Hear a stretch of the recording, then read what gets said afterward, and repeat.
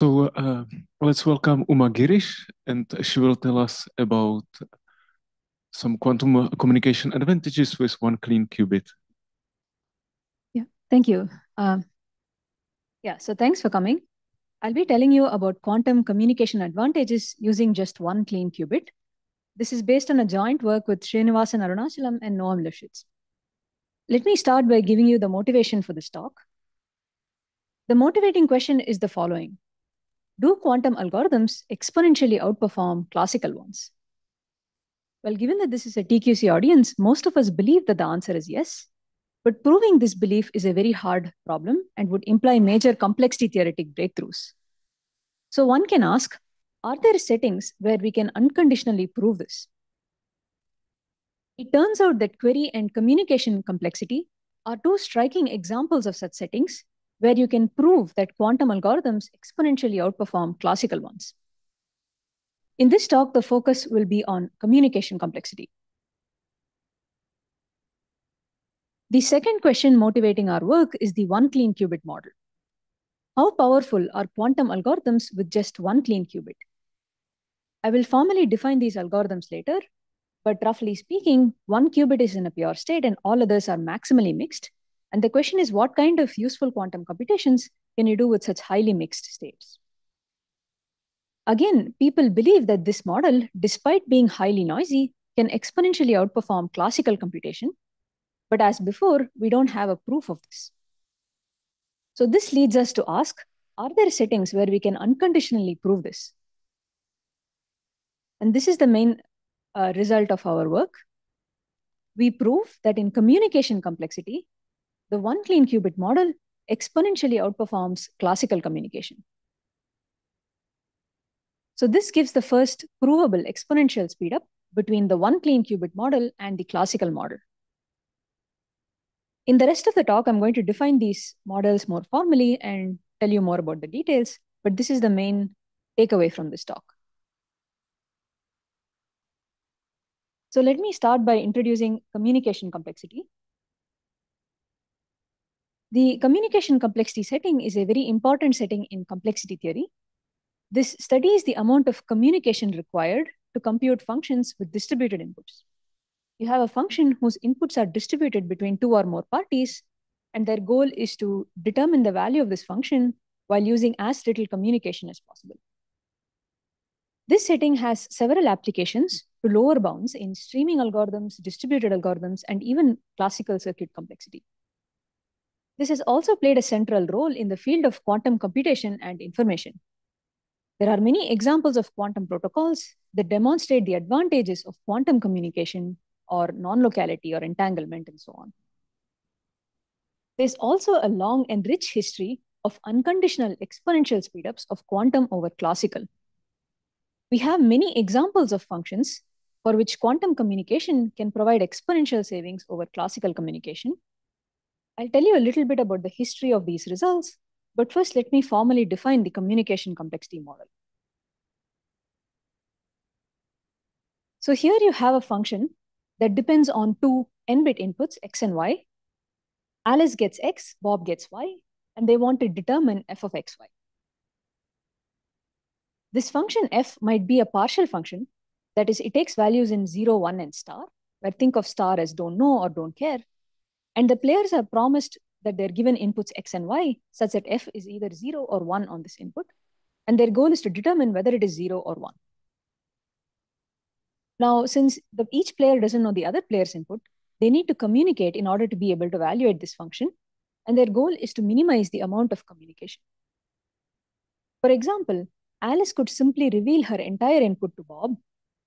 In other words, she can send the description of X, which takes n bits of communication, and the goal is to do much better, to somehow be able to compute f by using only polylog n communication. We formalize this by the notion of a communication cost of a protocol, which is basically the maximum number of bits or qubits of communication that the players ever send. This is the broad setting of communication complexity. In a classical communication protocol, communication typically proceeds in rounds and in each round, the player sends a message to the other player, which is a bit string. And finally, Bob announces the answer. We will always allow randomized communication. That is, the players always have access to shared randomness, and their messages can depend on this randomized string. And their goal is to compute the function with high probability, at least two thirds. This is the setting of classical communication complexity. And now we can talk about quantum communication complexity. There are typically two types of resources in quantum communication complexity. The first is the ability to send quantum messages.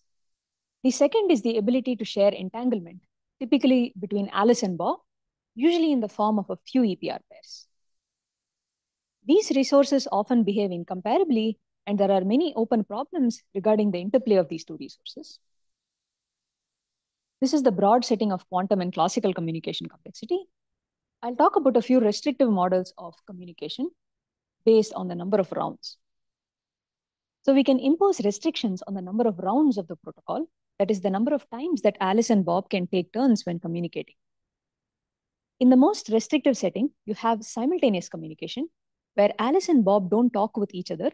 Instead, they send a message to a third party, Charlie, Charlie doesn't see the inputs of Alice and Bob. She only sees the messages, and based on the messages, she has to come up with the answer. This is very similar to the setting of non-local games. A less restrictive model is the one-way model, where Alice sends Bob a single message, and Bob must return the answer. The least restrictive model is the two-way model, where Alice can, and Bob can send messages back and forth, and finally Bob announces the answer.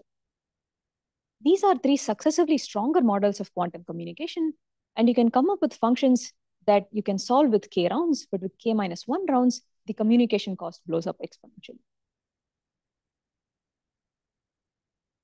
So now let me introduce the main problem in quantum versus classical communication, which is what is the power of quantum communication versus classical communication? Are there partial functions which can be computed using quantum protocols of small cost but not any classical protocol of small cost. And as I mentioned before to you, the answer to this question is indeed there are many examples of functions that demonstrate such an exponential quantum speedup. And there is a long line of works showing many such examples. And loosely speaking, these works are trying to actually answer the more fine-grained version of the question, which is the following. What is the minimum quantum resource sufficient for an exponential quantum communication speedup? In particular, Gavinsky, who has thought a lot about these problems, asks, what is the weakest quantum communication model that outperforms its classical counterpart? What is the strongest classical model over which the quantum counterpart shows an exponential advantage?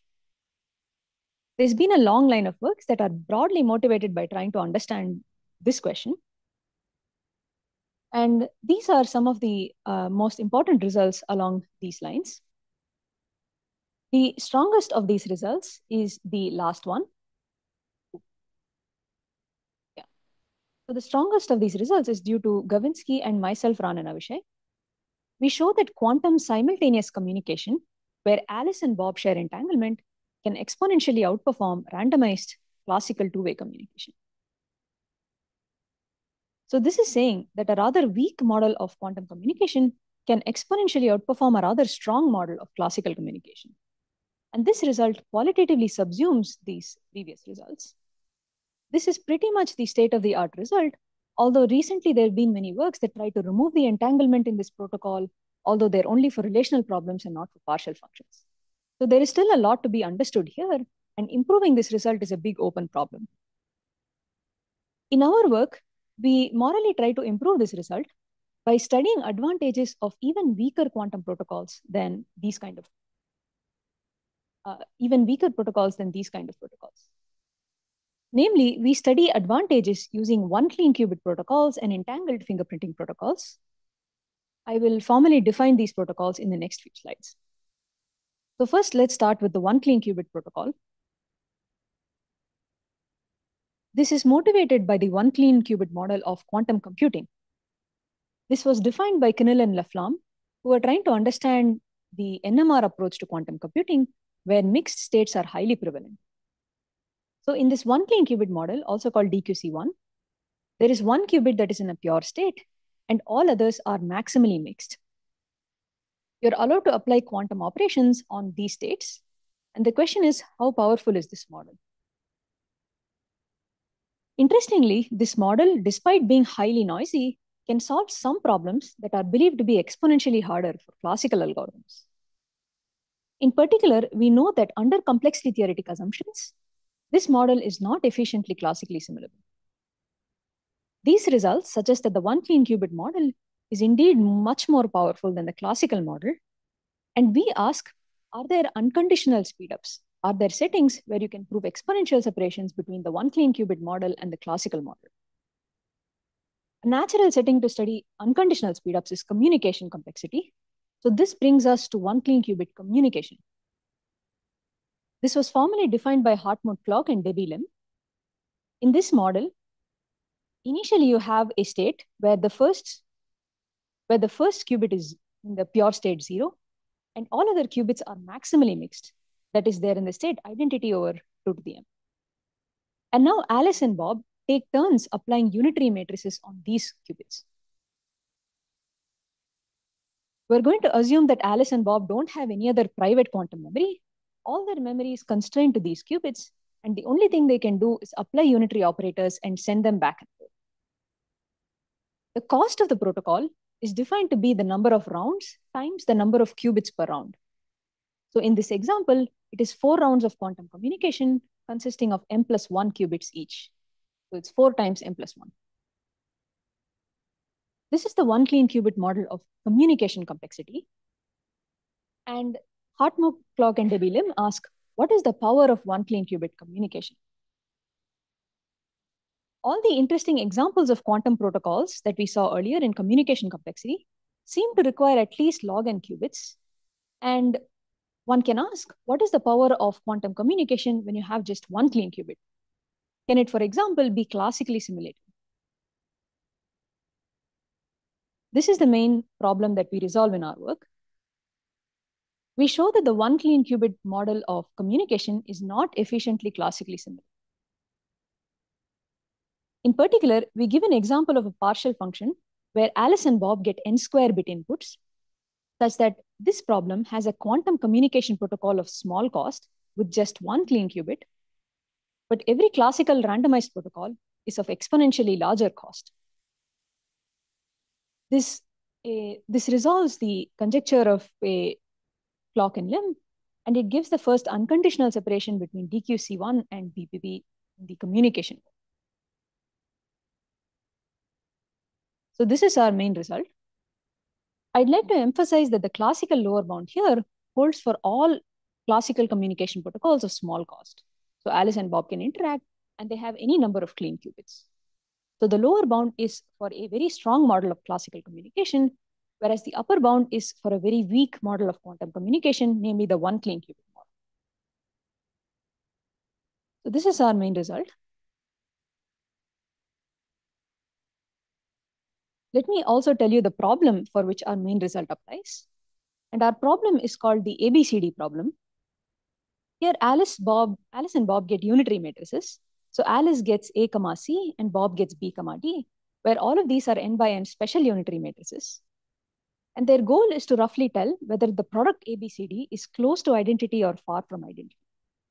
More precisely, they want to tell if the trace of A times B times C times D is large or small, where large is at least 0.9 n or at most 0.1 n. This problem is motivated by the trace estimation of unitaries, which is in some sense complete for DQC1. And this is a communication version of this problem. And we show that this problem has a one clean qubit protocol of small cost, but no small cost randomized classical protocol. So this is our first main result. Next, I'd like to talk about entangled fingerprinting protocols. Let me start by telling you about fingerprinting communication first. This was a model of communication defined by Buhrman, Cleve, uh, Watrous, and de Wolf. This model consists of quantum simultaneous protocols where Charlie simply performs a swap test. So Alice and Bob get inputs X and Y. They send quantum states to the referee rho X and sigma Y. And the referee Charlie simply does a swap test between the two quantum states. This is a very restrictive type of quantum simultaneous protocol and is called a fingerprinting protocol. This model has some advantages over classical A fingerprinting protocols. But once Alice and, and Bob have public randomness, this model becomes classically simulable. So in the presence of public randomness, this model has no quantum advantages over classical. You can mimic quantum fingerprints using classical fingerprints in the presence of randomness. What we study is entangled fingerprinting communication, which is essentially the same model, but Alice and Bob are allowed to start off with some entanglement. We will assume that the entanglement consists of a few EPR pairs. Alice can apply some quantum operations on her part of the EPR pairs. Bob can apply some quantum operation, and they can send all their qubits to the referee. And as before, Charlie just does a swap test. This is the entangled fingerprinting protocol. And what we show is, interestingly, this, this kind of protocols can show exponential quantum speedups. In particular, if you look at the ABCD problem that I mentioned before, this problem has an entangled fingerprinting protocol of small cost, provided Alice and Bob share a few EPR pairs. So this is saying that with just the resource of entanglement, fingerprinting protocols can exponentially outperform classical interactive protocols. So this is our second result. In the next five minutes or so, I'd like to tell you a little bit about the proof ideas. And this might be a little technical, but for those of you who are familiar with these analytical tools, I hope it will give you some idea. Um, ah, right, sorry. So first I'd like to, um, let me mention the this result in the context of previous work. So our result qualitatively improves the state-of-the-art separation because we show a quantum versus classical separation for a weaker quantum model, namely quantum simultaneous with entanglement, where Charlie simply does a swap test. So in this result, our second main theorem subsumes the previous separations between quantum and classical communication complexity. So this is the significance of our second result. And now let me tell you about the proof ideas. The main technical tool is a level K inequality for SUN. So I'll describe this inequality in the next slide. This inequality was developed by Ellis, Kindler, uh, Lifshitz, and Minzer. They were trying to understand the size of product-free sets in SUN. So they wanted to understand what is the largest subset of SUN that does not contain three matrices ABC such that AB equals C. In trying to answer this question, they developed this level K inequality, which is a powerful analytic tool, and they used it to show that any large subset of SUN cannot be product free. So any subset of SUN of measure at least e to the minus n to the one third must contain three matrices such that AB equals C. This is the context in which they develop level K inequalities over SUN. In general, level K inequalities have been established over various domains, most notably the Boolean hypercube, the unit sphere, the Gaussian distribution, and so on. And these inequalities have several applications, most notably to the field of quantum versus classical separations in communication complexity. In particular, two of the results I mentioned before use the level k inequality on minus 1, 1 to the n. One of these uses level k inequalities in the unit sphere, and our result uses level k inequalities on SUN. So here is the level K inequality on SUN. Loosely speaking, it says that a large set cannot have a large degree K component. To formalize the notion of degree K component over SUN, you can do it as follows. So let's look at all functions on unitary matrices. So functions that take in unitary matrices and output real numbers. Some of these functions can be expressed as low degree polynomials in the entries of these matrices, U and U dagger. We call these functions low degree polynomials. So L at most k consists of polynomials of degree at most k. If you subtract polynomials of degree k minus 1, you're left with polynomials of pure degree k. And this is what I mean by level k. And here is the level k inequality. It says that if you have a subset of SUN whose measure under the Haar distribution is alpha, if you take the indicator function of A then the level k component of this indicator function has a small L2 norm. So here indicator of A equals k is the projection of the indicator function onto the pure degree k part. And this inequality says that the L2 norm square of this is small. I'm not going to have time to give some intuition on this inequality, but for those of you who have seen the level k inequality over the Boolean hypercube, let me just contrast these two inequalities. So over the Boolean hypercube, you have the following inequality. Given any subset of minus 1, 1 to the n of measure alpha, the level k component has L2 square at most. So it's very similar to the level k inequality over minus 1, 1 to the n, but this one works over SUN. And this is a very powerful inequality, and this is the main inequality we use to derive our lower bound. So in the next few slides, let me give you a very quick idea of how we use this inequality. So first, the main place where we use this inequality is in the lower bound. So to show that the ABCD problem has no classical randomized protocol of small cost, we first reduce the problem to a problem about rectangles. This is a very standard argument in communication complexity. If you look at the matrix where the rows are indexed by Alice's input and the columns by Bob's inputs, a communication protocol partitions this matrix into a few components.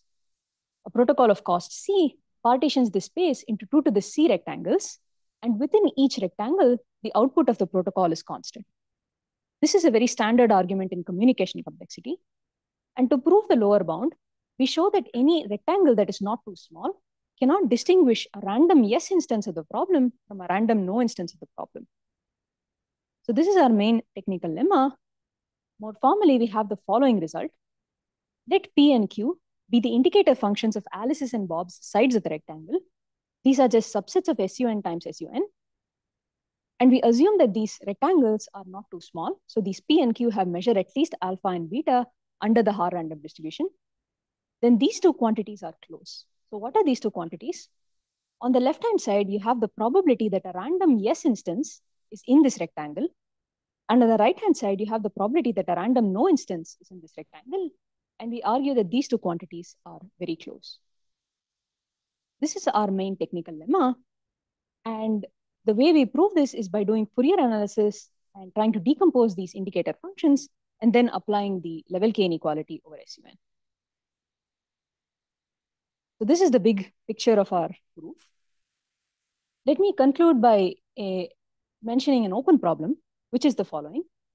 Is there an oracle separation between DQC1 and BPP?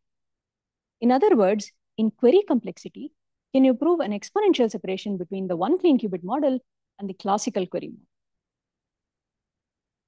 Typically, separations in communication complexity are harder to establish than in query complexity, but in this case, we believe this is an independently interesting problem that is of incomparable difficulty. So this brings me to the end of my talk. I'm happy to take questions.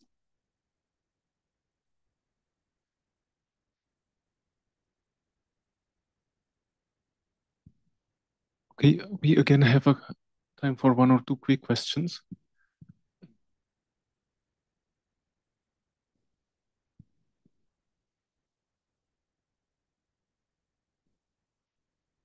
Know if the communication complexity setting, there will be difference if you have the QC1 and the QC2 or K, let's say? Ah, that's a good question. Um, I think you can simulate a certain number of qubits using just one clean qubit. Although I think the scaling is different. In communication complexity, it is more like log log n as opposed to log n but I, I'm not sure, but I think this is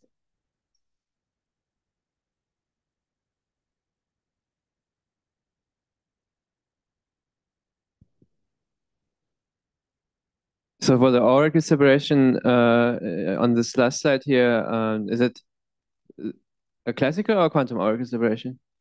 Yeah, so ideally we want it to be a classical oracle because how do you how how would the classical algorithm access a quantum oracle? So Right, right. Yeah. Okay, I see.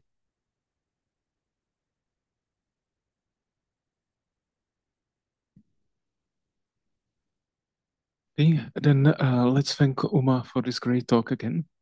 Mm.